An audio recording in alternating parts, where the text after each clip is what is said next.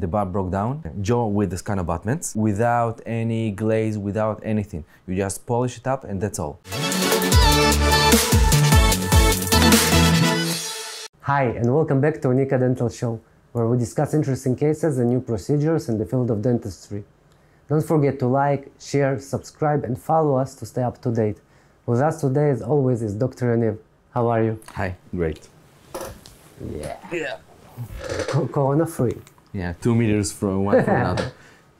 So, what did you bring for us today? There was a bar on multi units, and we want to change the bar, uh, the overdenture on the bar to full monolithic zirconia bridge. The bar broke down, and this is why we wanted to change. Okay. This patient is kind of problematic patient because first of all, he has Par- Parkinson disease, and it's very difficult to take impressions and to work with him. Uh, f- and because of many movements of the jaw, he breaks everything. It's like it's something like bruxism, but it's something different. It's not from the No, same causes. Parkinson. Yeah uh, Always uh, move. these are the implants that he have right now. Uh, he had a bar with overdenture for I think about 10, 15 years, and the bar broke down. This what it looks like. Uh, this part of the bar is missing. You have the the other part of the bar.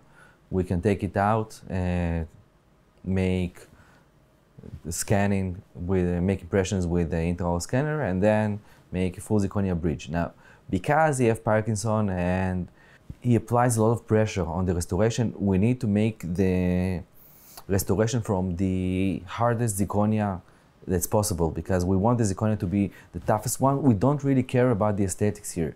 Uh, this part is probably the, the major factor here because we want to, it to be as strong as possible and with less uh, plaque retention as possible. So, the polished zirconia, as you told Yeah, us polished before. zirconia without glaze at all. Uh, full monolithic from the strongest zirconia that you have is the less translucent that that is. It's just like wh- white uh, bulk of zirconia. This is the bulk. Yeah, this is the bar that he had with an overdenture on uh, multi units. We took out the bar. We changed the multi units from old ones to new ones. Uh, in the buccal multi in the buccal implant, buccal inclined implant, we changed it to angulated multi unit because first of all you don't really see it because you have enough gingiva. That's what we always talk about. Uh, when you have enough gingiva, it doesn't really matter that you put uh, get multi-unit because it doesn't affect the aesthetics. Uh, second, the aesthetics here are not the major factor. If we want it to be as strong as possible and as reliable, uh, the most reliable that can be. Scanning. Yeah, we scanned all the multi-units. You can see in the posterior part you cut the scan. yeah, you have two scan abutments and they get in one into the another. You can't you can restore in this way, but you can't scan because you need to have all these scan abutments uh, in the same place The at scan. the one at one time. If you cut the scan abutment, the scan, the intraoral scanner catches it. Yeah, the intraoral scanner catches it, and later on, when you model on uh, exocad or 3Shape or dental wings, doesn't really matter. You can use only part of the scan abutment, and you don't. It doesn't really matter if you have all of the scan abutment or not, because even with about a third of the scan abutment, it's enough for the scanning to be to be done. Theoretically, every doctor, if he faces this problem, he can theoretically cut it and use it. Yeah, in our clinic we already have a couple of uh, cutted scan abutments that we sterilize and use in these type of cases that you don't have enough uh, space for two scan abutments that the implant are adjacent one to another. You can see here that we didn't add any implants. This is what we what he had. The scans and the bridge uh, design, right? Yeah, you can see. First of all, we took a scan from the then the overdenture that he had. Mm-hmm. We scanned the overdenture, and then we using the palatal area, we can connect to the denture the jaw with the scan abutments because we have the same palate, and la- then we can design the bridge to look like more or less like his old denture.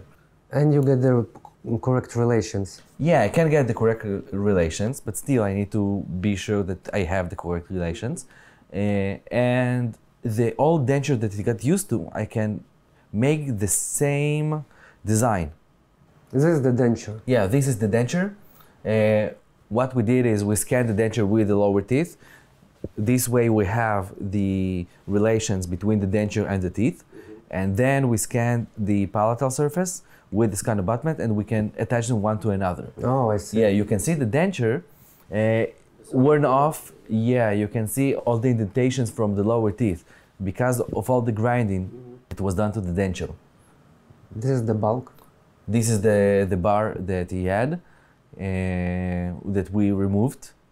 The wait, it's not the fine. It's not zirconia bridge. No, this is the zirconia bridge. This is the zirconia bridge. Yeah, we did. I don't recognize it because it's totally polished. Yeah, it's polished without any glaze. We don't want it to be retention, uh, retentive to plaque because in some point uh, that will probably come in the near future, he won't be able to brush his teeth or it will be difficult to brush his teeth.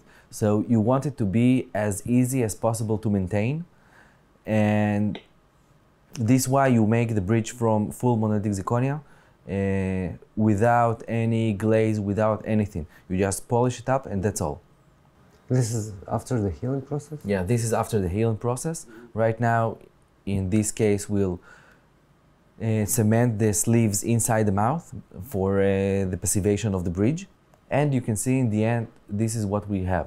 Uh, the aesthetics here are not the most important thing because what we want to do is we, we want to make this restoration as comfortable as possible, as easy as possible to maintain, and for the patient to uh, to keep the same design that he got used to.